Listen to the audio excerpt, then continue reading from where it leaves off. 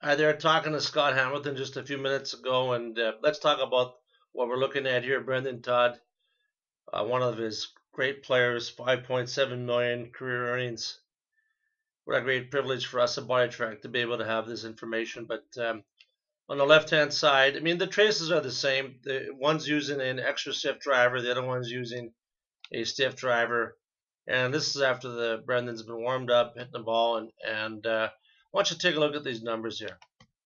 Peak velocity 575, 257.4, and a release factor 56. Now the release factor is the time from when um, you make your largest lateral motion, and it's right in this case there when those two lines converge, and we time that to impact. In case just to refresh your memory, and impact is right there, and that happens to be 56 milliseconds. On the right hand side, the uh, same trace, same swing, everything looks the same. And we've got um, just a little bit different peak velocity, not much, 264.8. And I want you to pay attention, 49.0 seconds. Now, think about this. The less time that it takes for you to score off the club, that's what a shaft can do for you. So in other words, uh, which shaft is squaring off the club the most or, or least in this case. And this one, it's the X. 49 milliseconds to impact. Clubs twisting, torquing, bending all around, lead lag droop, true temper shaft lab many years ago. Strain gauges on the shaft. And now we're looking at it in a different way. And I can just see everybody rolling their eyes. But in this particular case, on the right hand side, we get the peak velocity right there.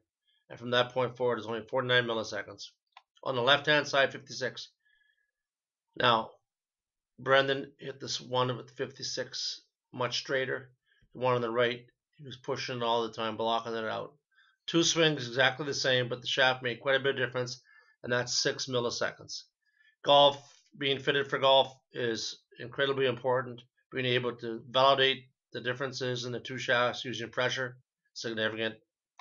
Totally going to change the way in the face that we not only instruct fit shoes, fit footwear, fit shafts, everything. Listen, it's been a great privilege to be a part of your team in 2014. 2015 looks like it's going to be an unbelievable year. And I can't thank you very enough to all the great people all across the world that have helped us out.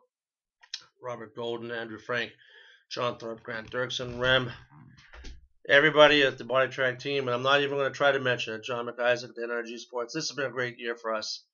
Really look forward to being a part of this, and most importantly, I, I want to say thank you to everybody for believing in me. This has been a long journey, a difficult one, and I can tell you honestly that uh, we have changed the way golf will be taught for the rest of the world forever. Terry with the BodiTrak, and thank you to everybody.